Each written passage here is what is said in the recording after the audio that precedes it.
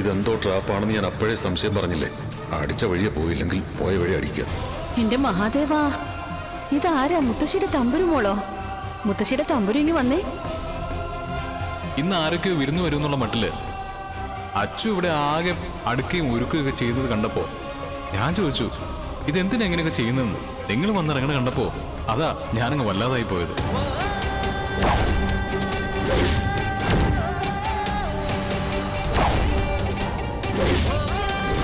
ദയവ് ചെയ്ത് എന്റെ മോളുടെ ജീവിതം തകർക്കരുത്. ഞാൻ കാൽ പിടിക്കാം. മഹി അവളോട് എല്ലാ കാര്യങ്ങളും പറഞ്ഞിട്ടുണ്ടാവോ? അങ്ങനെയാണെങ്കിൽ മോഹനെ കാണുമ്പോ അവളതൊക്കെ മോഹനോട് പറഞ്ഞാലോ?